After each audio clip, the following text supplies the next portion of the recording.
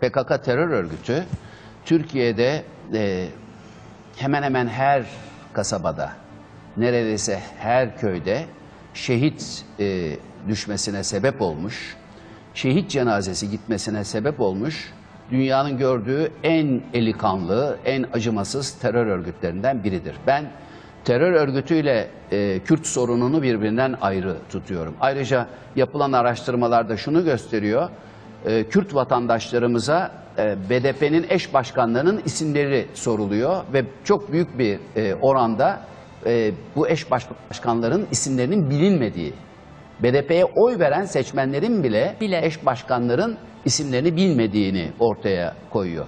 Şimdi Abdullah Öcalan dendiğinde Allah rahmet eylesin benim çok sevdiğim saydığım devlet adamı Cumhurbaşkanı Turgut Özal bizi bir e, GAP gezisine götürmüştü. Gezi yarıda kaldı çünkü PKK e, bir mezrayı basmıştı, bir köyü basmıştı ve katliam yapmıştı. Biz oraya gittik. Fazla uzatmayayım Serap.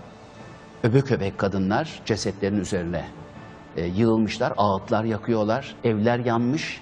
Hatta tavuklar, horozlar tavanlara yapışmış, bomba atılmış ve fosil haline gelmiş. Derken özel harekatçı polisler gazete kağıdına sarılmış bir şey getirdiler bana. Açtım, açtım, açtım bir şey gözükmüyor. Açtım, açtım. Şu kadarcık bir bebek ayağı.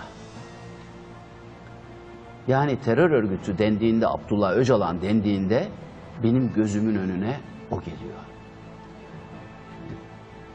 Abdullah Öcalan'la ilgili olarak konuşanların Türkiye'nin her kasabasında bir şehit cenazesinin e, kaldırıldığını e, ve artık bazı kentlerde şehitlerin fotoğraflarının saklandığı binalarda, duvarlarda yer kalmadığını bilmeleri ve buna göre çok dikkatli konuşmaları gerekir. Ha yıllar sonra böyle bir şey olur mu? Olabilir. Bir marjinal partinin başına geçer. Ama hiçbir zaman Abdullah Öcalan Türkiye'de yaşayan Kürtlerin tamamının desteklediği bir lider olamaz.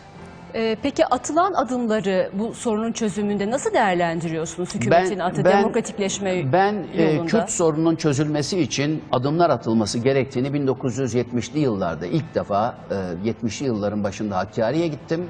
Oradaki geri kalmışlığı, sefaleti, ihmal edilmişliği, unutulmuşluğu, devletin o insanları yönetmek için kurtulmak istediği sürgün sürgüne gönderdiği yöneticileri tanıyınca aman dedim çok büyük bir tehlike Türkiye'yi gelecekte yakın gelecekte bekliyor. Bu sorunun üzerine mutlaka gidilmeli. Yani oranın kalkınması sağlanmalıydı. Oraya devletin gönderdiği paralar üçkağıtçıların eline geçip e, buharlaşmamalıydı. istihdam yaratılmalıydı. Devlet en değerli elemanlarını oraya göndermeliydi.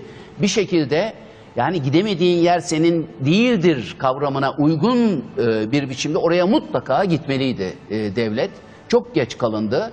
E, bu sorunun bir şekilde e, çözülmesi gerekiyor. Şehit kanının durması gerekiyor. E, atılan adımların e, kamu vicdanını, Türkiye'nin genel vicdanını kanatmayacak doğrultuda e, ciddi adımlar e, ve ince elenip sık dokunarak atılması, Atılması gereken adımlar gerekiyor. olduğuna inanıyorum.